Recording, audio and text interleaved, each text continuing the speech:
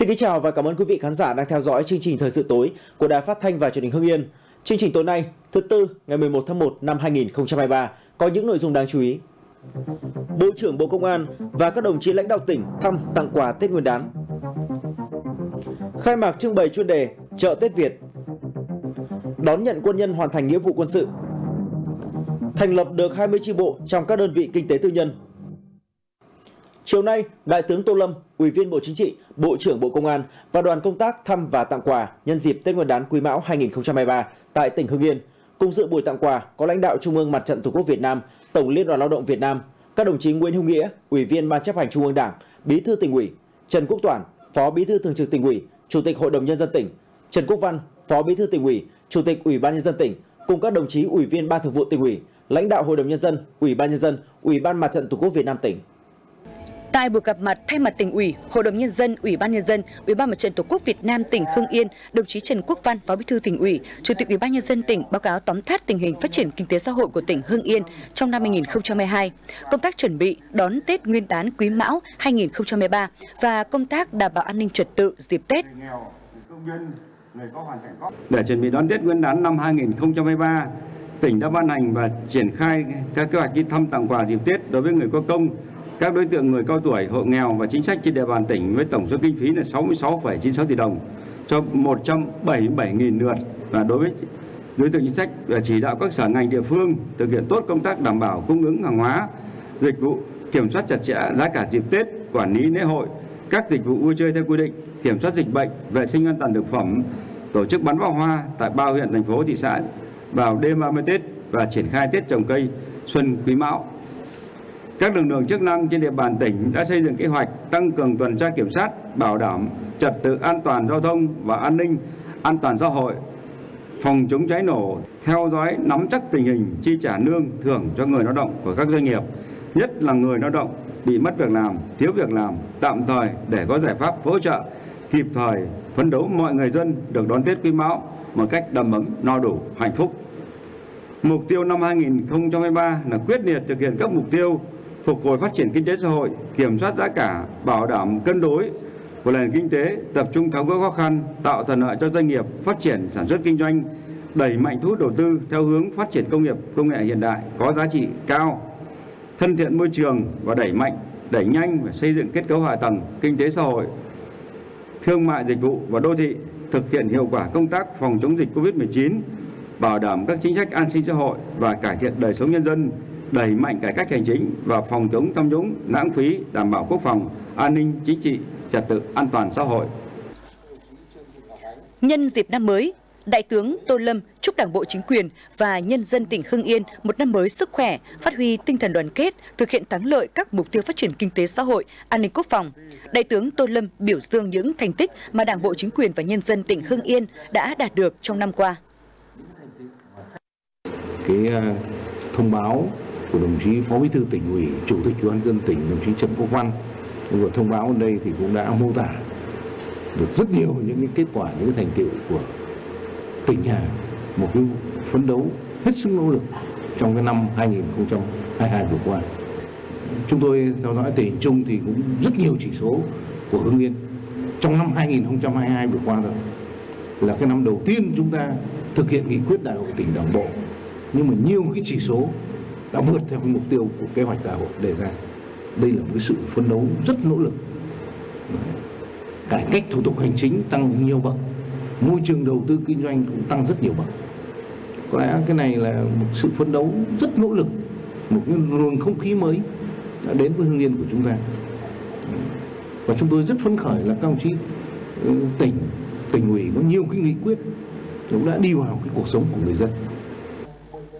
Năm 2023 được dự báo có nhiều khó khăn thách thức, tác động đến việc thực hiện nhiệm vụ phát triển kinh tế xã hội và công tác bảo đảm an ninh trật tự. Do đó, đồng chí Tô Lâm lưu ý, hiện nay Trung ương đã có các nghị quyết kết luận xác định rõ mục tiêu nhiệm vụ phát triển kinh tế xã hội tỉnh Hưng Yên cần tập trung quán triệt xây dựng kế hoạch triển khai cụ thể phát triển kinh tế xã hội, đổi mới, chủ động sáng tạo, đưa ra các giải pháp trọng tâm, trọng điểm phù hợp với thực tiễn địa phương, Trước mắt, tập trung làm tốt công tác đảm bảo các điều kiện để nhân dân đón Tết an toàn, tiết kiệm, hiệu quả.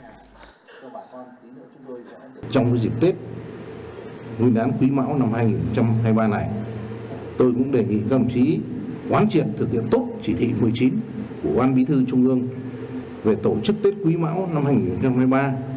thực hiện thật tốt các cái chính sách an sinh xã hội, phát huy cái truyền thống đại đoàn kết, tinh thần tương thân tương ái của dân tộc, chăm lo đời sống vật chất tinh thần cho nhân dân, quan tâm chăm lo đến các gia đình chính sách, những người có công, những người có hoàn cảnh khó khăn, các cái hộ nghèo, những người có hoàn cảnh để đảm bảo nhân dân trên địa bàn tỉnh vui xuân đón Tết Quý Mão thật tươi vui, an toàn, lành mạnh. Tăng cường công tác quản lý thị trường, ổn định hàng hóa giá cả, dịch vụ, đáp ứng kịp thời nhu cầu của nhân dân trước, trong và sau Tết, đảm bảo an ninh trật tự, an toàn địa bàn phục vụ cho nhân dân vui xuân đón Tết. Nhân dịp năm mới và chuẩn bị đón xuân Quý Mão, xin chúc toàn thể các đồng chí và xin chúc bà con nhân dân trong tỉnh nhà luôn luôn dồi dào sức khỏe, hạnh phúc và thành công. Vâng. Thay mặt lãnh đạo tỉnh Hưng Yên, đồng chí Nguyễn Hữu Nghĩa, Bí thư tỉnh ủy đã tiếp thu những ý kiến chỉ đạo của Đại tướng Tô Lâm và trân trọng cảm ơn tình cảm sự quan tâm của Đại tướng Tô Lâm đến các gia đình chính sách, người có công và người có hoàn cảnh khó khăn trên địa bàn tỉnh. Nhân dịp Tết Quý Mão sắp tới, đồng chí Bí thư tỉnh ủy đã gửi lời cảm ơn và lời chúc tốt đẹp nhất đến Đại tướng Tô Lâm và mong Đại tướng tiếp tục quan tâm, dành nhiều tình cảm cho quê hương Hưng Yên. Thay mặt Ban Thường vụ tỉnh ủy, tôi xin tiếp thu ý kiến chỉ đạo của đồng chí Đại tướng Tô Lâm về một số nhiệm vụ mà các cấp ủy, chính quyền của tỉnh Hưng Yên cần phải quan tâm, tập trung lãnh đạo chỉ đạo trong thời gian tới mà trọng tâm đó là ba vấn đề, ba nhiệm vụ một quan tâm chăm lo đến đời sống vật chất tinh thần. Bảo đảm các nhu cầu về giáo dục, đào tạo, chăm sóc sức khỏe, cải thiện phúc lợi cho nhân dân tỉnh Hưng Yên. Nhất là người nghèo, đối tượng chính sách, người có công công nhân, người lao động. Hai là thực hiện xóa nghèo, giảm nghèo, bền vững và hướng tới Hưng Yên. Không còn người nghèo, không còn hộ nghèo ba là ngay trong Tết Quý Mão này,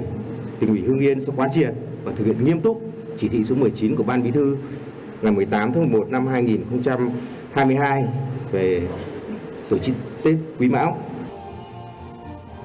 Tại buổi lễ, Đại tướng Tô Lâm, Bộ trưởng Bộ Công an cùng các đồng chí lãnh đạo tỉnh Hưng Yên đã trao tặng 500 xuất quà Tết cho đại diện gia đình chính sách, người có công, hộ nghèo và công nhân lao động có hoàn cảnh khó khăn tỉnh Hưng Yên. Đại tướng Tô Lâm cùng đoàn công tác và lãnh đạo tỉnh Hưng Yên đã đến thăm, chúc Tết, tặng quà và động viên cán bộ chiến sĩ, Bộ Chỉ huy quân sự tỉnh và Công an tỉnh Hưng Yên thăm cụ Nguyễn Văn Dính, sinh năm 1926, bộ đội chống Pháp, thương binh hạng 2 trên 4 ở phố An Bình, phường An Tảo, thành phố Hưng Yên. Ngày 10 tháng 1, đồng chí Nguyễn Hữu Nghĩa, Ủy viên Ban chấp hành Trung ương Đảng, Bí thư tỉnh ủy đã thăm tặng quà người có công, cán bộ, đảng viên được tặng huy hiệu 75 năm tuổi Đảng, thương binh nặng, hộ nghèo, trẻ em có hoàn cảnh khó khăn tại thành phố Hưng Yên, huyện Ân Thi, Trung tâm Bảo trợ xã hội và Công tác xã hội tỉnh, công nhân, người lao động tại một số công ty trên địa bàn tỉnh nhân dịp Tết Nguyên đán Quý Mão 2023. Đồng chí Bí thư tỉnh ủy cùng đoàn đã đến thăm hỏi tặng quà hai gia đình người có công, cán bộ đảng viên được tặng huy hiệu 75 năm tuổi Đảng trên địa bàn thành phố Hưng Yên. Một xuất quà trị giá 1,5 triệu đồng, trao tặng quà và gần 5,8 tấn gạo cho các hộ nghèo thành phố Hưng Yên, 52 tấn gạo cho các hộ nghèo huyện Ân Thi, tặng quà cho trẻ em có hoàn cảnh đặc biệt khó khăn vươn lên trong học tập trên địa bàn hai huyện, mỗi suất trị giá 1,2 triệu đồng. Đồng thời đến thăm tặng quà tại Trung tâm Bảo trợ xã hội và công tác xã hội tỉnh trong không khí hân hoan, đầm ấm, chuẩn bị chào đón mùa xuân mới, đồng chí Bí thư tỉnh ủy Nguyễn Hữu Nghĩa ân cần thăm hỏi động viên và chúc các gia đình đón Tết cổ truyền của dân tộc an vui đầm ấm. Đồng chí yêu cầu các cấp ủy đảng, chính quyền, các đoàn thể địa phương cần tiếp tục quan tâm chăm lo hơn nữa đến đời sống tinh thần và vật chất cho nhân dân nói chung và gia đình chính sách người cao tuổi, những gia đình có hoàn cảnh khó khăn nói riêng. Đồng thời mong muốn các gia đình tiếp tục phát huy truyền thống cách mạng của quê hương, tuyên truyền, vận động người thân chấp hành tốt chủ trương, đường lối của Đảng, chính sách pháp luật của nhà nước, hăng say lao động sản xuất, vượt qua khó khăn vươn lên trong cuộc sống. Đồng chí Bí thư tỉnh ủy cùng đoàn đã tới thăm tặng quà người lao động tại công ty trách nhiệm hữu hạn May Thiên Sơn, huyện Phù Cử và công ty cổ phần Tiên Hưng. Đại diện hai công ty báo cáo về tình hình hoạt động của doanh nghiệp, mỗi đơn vị tạo việc làm cho gần 4.000 lao động với thu nhập trung bình 12 triệu đồng một lao động một tháng và tích cực tham gia đóng góp vào ngân sách nhà nước. Các hoạt động an sinh xã hội tại địa phương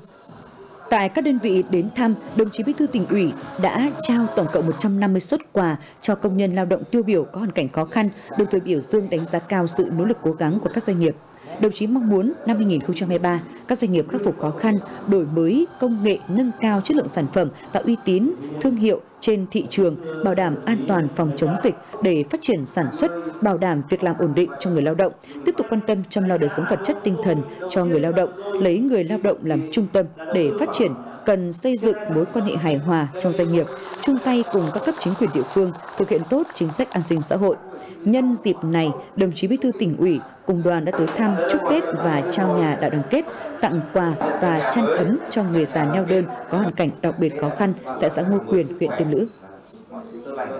Nhân dịp Tết Nguyên đán Quý Mão 2023, ngày 10 tháng 1 tại huyện Văn Lâm, đồng chí Trần Quốc Toản, Phó Bí thư tỉnh ủy, Chủ tịch Hội đồng Nhân dân tỉnh đã trao tặng quà người có công với cách mạng, hộ nghèo, trẻ em có hoàn cảnh khó khăn trên địa bàn huyện. Đồng chí Chủ tịch Hội đồng Nhân dân tỉnh Trần Quốc Toản đã trao trực tiếp hai xuất quà tặng ông Vũ Văn Điệp, thương binh thôn Mậu Lương, xã Lương Tài, bà Nguyễn Thị Lục, vợ liệt sĩ, thôn Phả Lê, xã Việt Hưng, 10 xuất quà tặng hộ nghèo, 15 xuất quà tặng trẻ em có hoàn cảnh khó khăn trên địa bàn huyện Văn Lâm, đồng thời trao gần 12 tấn gạo hỗ trợ cho 1.175 người thuộc 505 hộ nghèo trên địa bàn huyện. Mỗi người được tặng 10 kg gạo. Đồng chí Chủ tịch Hội đồng Nhân dân tỉnh Trần Quốc Toản ân cần thăm hỏi sức khỏe, đời sống của các gia đình, động viên các gia đình tiếp tục vươn lên trong cuộc sống, đón Tết Quý Mão 2023 đầm ấm, an vui. Sáng nay, Sở Tài chính tổ chức hội nghị tổng kết công tác tài chính, ngân sách năm 2022, triển khai nhiệm vụ năm 2023. Đồng chí Nguyễn Lê Huy, Ủy viên Ban Thường vụ tỉnh ủy, Phó Chủ tịch Thường trực Ủy ban nhân dân tỉnh dự và phát biểu chỉ đạo tại hội nghị. Phát biểu chỉ đạo tại hội nghị, đồng chí Nguyễn Lê Huy, Phó Chủ tịch Thường trực Ủy ban nhân dân tỉnh đã biểu dương những kết quả mà ngành tài chính đạt được trong năm qua. Các huyện thị xã thành phố đều hoàn thành vượt mức kế hoạch thu năm 2022. Bên cạnh việc hoàn thành vượt mức thu ngân sách nhà nước thì các nhiệm vụ chi ngân sách trong năm 2022 của tỉnh được đảm bảo an toàn, góp phần hoàn thành các chỉ tiêu kinh tế xã hội của tỉnh để thực hiện thắng lợi các mục tiêu nhiệm vụ tài chính ngân sách nhà nước năm 2023 đồng chí Phó Chủ tịch Thường trực Ủy ban Nhân dân tỉnh yêu cầu ngành tài chính phải tăng cường kỷ luật tài chính, ngân sách nhà nước, thực hành tiết kiệm chống lãng phí, cơ cấu lại ngân sách nhà nước và nợ công theo hướng an toàn, bền vững, tăng tỷ trọng chi phí đầu tư phát triển, đẩy mạnh sắp xếp tổ chức bộ máy tinh gọn, đẩy mạnh giải ngân vốn đầu tư công, tăng cường quản lý kiểm tra, giám sát, nâng cao hiệu quả đầu tư, chống lãng phí, không để phát sinh bới nợ động xây dựng cơ bản, tăng cường công tác thanh tra, kiểm tra, giám sát và công khai minh bạch trong thu ngân sách nhà nước, đầu tư xây dựng cơ bản, quản lý và sử dụng tài sản công, đất đai, tài nguyên khoáng sản. Sáng nay, Ủy ban nhân dân tỉnh tổ chức hội nghị triển khai công tác nội vụ, cải cách hành chính và thi đua khen thưởng năm 2023. Đồng chí Nguyễn Duy Hưng, Phó Chủ tịch Ủy ban nhân dân tỉnh, trưởng ban chỉ đạo công tác cải cách hành chính tỉnh chủ trì hội nghị. Dự hội nghị có đồng chí Quách Thị Hương, Ủy viên Ban Thường vụ tỉnh ủy, trưởng ban dân vận tỉnh ủy, Chủ tịch Ủy ban Mặt trận Tổ quốc Việt Nam tỉnh. Năm 2022, ngành Nội vụ đã khắc phục khó khăn, hoàn thành hơn 6.000 nhiệm vụ ở 9 lĩnh vực công tác, triển khai 3 đề án nâng ngạch công chức thăng hạng chức danh nghề nghiệp viên chức Công tác cải cách hành chính, xây dựng và phát triển chính quyền điện tử, chính quyền số được tỉnh chú trọng triển khai, tạo thuận lợi cho việc quản lý điều hành của các cơ quan đơn vị và phục vụ nhu cầu giao dịch hành chính của người dân, tổ chức nhanh chóng, chính xác và thuận lợi. Sở Nội vụ tham mưu với Hội đồng thi đua khen thưởng tỉnh phát động năm phong trào thi đua đặc biệt về đẩy mạnh nâng cao hiệu quả công tác cải cách hành chính, chuyển đổi số, thực hiện các dự án trọng điểm. Phát biểu kết luận tại hội nghị, đồng chí Phó Chủ tịch Ủy ban nhân dân tỉnh Nguyễn Duy Hưng yêu cầu năm 2023 các cấp các ngành địa phương đơn vị trong tỉnh cần tiếp tục đẩy mạnh cải cách hành chính, xây dựng chính quyền số phục vụ nhân dân, nâng cao các chỉ số phản ánh nền hành chính của tỉnh, hoàn thành các chương trình kế hoạch của tỉnh ủy, ủy ban nhân dân tỉnh về sắp xếp tổ chức bộ máy quản lý vị trí việc làm gắn với tinh giản biên chế, tập trung thực hiện tự chủ trong các đơn vị sự nghiệp công lập, trọng tâm là các đơn vị sự nghiệp giáo dục, y tế gắn với tinh giản biên chế, giảm đầu mối số lượng người hưởng lương từ ngân sách nhà nước, đẩy mạnh phân cấp, phân quyền trong quản lý nhà nước, đổi mới nâng cao hiệu lực, hiệu quả quản lý công chức viên chức, công tác quản lý chính quyền địa phương và cán bộ công chức, người làm việc không chuyên trách ở cấp xã thôn tổ dân phố, tiếp tục nâng cao chất lượng tham mưu đối với lĩnh vực thi đua khen thưởng. Ngày 10 tháng 1, Ban tổ chức Hội thi sáng tạo kỹ thuật tỉnh tổ chức hội nghị tổng kết và trao giải Hội thi sáng tạo kỹ thuật tỉnh lần thứ tư năm 2022, đồng thời phát động cuộc thi sáng tạo thanh thiếu niên nhi đồng tỉnh Hưng Yên lần thứ hai năm 2023. Dự hội nghị có đồng chí Nguyễn Khắc Hào, nguyên Phó Bí thư Thường trực tỉnh ủy, Chủ tịch Liên hiệp các hội khoa học và kỹ thuật tỉnh, Phó trưởng ban thường trực ban tổ chức hội thi. Ban tổ chức đã nhận được 81 hồ sơ tham dự ở các lĩnh vực công nghệ thông tin, điện tử, viễn thông, cơ khí tự động hóa, xây dựng và giao thông vận tải, vật liệu hóa chất, năng lượng, nông ngư nghiệp, tài nguyên và môi trường, y dược, giáo dục, đào tạo. Hội đồng trung khảo đã xét chọn và trao 54 giải, gồm 5 giải nhì, 16 giải ba và 33 giải khuyến khích. Hội thi lần này có nhiều mô hình giải pháp kỹ thuật được ứng dụng vào sản xuất và đời sống đã góp phần thúc đẩy phát triển kinh tế xã hội của tỉnh và bảo vệ sức khỏe nhân dân. Thông qua hội thi đã khơi dậy và đẩy mạnh phong trào phát huy sáng kiến, cải tiến kỹ thuật, sáng tạo trong lao động, sản xuất của đội ngũ trí thức, công chức viên chức và người lao động trên địa bàn tỉnh. Nhắc nhở và động viên để sang năm tốt hơn. Sáng nay, tại Bảo tàng tỉnh Hưng Yên đã diễn ra chương trình khai mạc trưng bày chuyên đề Chợ Tết Việt. Dự lễ khai mạc có đồng chí Đào Hùng Vận, Ủy viên Ban Thường vụ tỉnh ủy, trưởng Ban Tuyên giáo tỉnh ủy,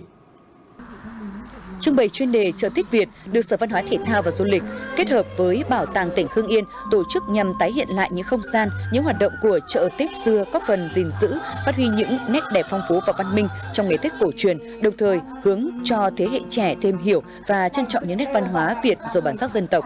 Khu trưng bày chợ Tết Việt có nhiều gian hàng theo phong cách dân gian như gian thư pháp, gian tranh đồng hồ, đồ trang trí Tết, gian ẩm thực với các món ăn đặc trưng của Hưng Yên, đồng thời tái hiện một số nghi lễ, phong tục tập quán của người Việt dịp Tết đến xuân về như gói bánh trưng, dựng cây nêu, xin chữ đầu năm, tổ chức các hoạt động bằng trải nghiệm trò chơi dân gian dịp xuân mới như chơi đu, đi cầu kiều, bịt mắt đập niêu, ô ăn quan, Ngoài ra, còn có một số hoạt động trình diễn nghệ thuật truyền thống như hát trèo, hát ca trù, hát sẩm, trưng bày chuyên đề, chợ Tết Việt tại Bảo tàng tỉnh Hưng Yên sẽ mở cửa đến hết ngày mùng 5 tháng 2, tức rằm tháng riêng để đón du khách thập phương cùng nhân dân và chiêm ngưỡng và trải nghiệm. Thưa quý vị, hôm nay các địa phương đã tổ chức lễ đón nhận hơn 1.000 quân nhân đã hoàn thành nghĩa vụ quân sự trở về. Cùng tham dự có các doanh nghiệp, các đơn vị hướng nghiệp, dạy nghề đến tư vấn, giới thiệu và tuyển lao động.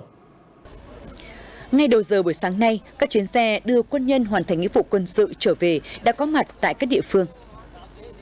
Sau 2 năm rèn luyện cho quân ngũ, hôm nay các quân nhân trở về địa phương với sự vinh dự, tự hào, với tâm thế của người chiến sĩ. Với sự chào đón trang trọng, nồng nhiệt của các địa phương và gia đình càng tiếp thêm cho các quân nhân sức mạnh, sự tự tin làm hành trang bước vào cuộc sống mới hoàn thành nghĩa vụ quân sự. Hôm nay ờ, cháu được ừ, đón nhận này cháu cảm thấy rất là vui. Qua hai năm quân ngũ thì cháu được ờ, cán bộ các chỉ huy các cấp đào tạo rất nhiều về ý chí ạ và độ bền bỉ và tự tin ạ, dũng cảm và cháu đã có được ờ, số hành trang tốt để bước vào đời. Cháu trở về địa phương cháu cảm thấy được địa phương huyện Văn Giang tiếp đón rất là nhiệt tình ạ. Sau khi đó cháu được giới thiệu việc làm.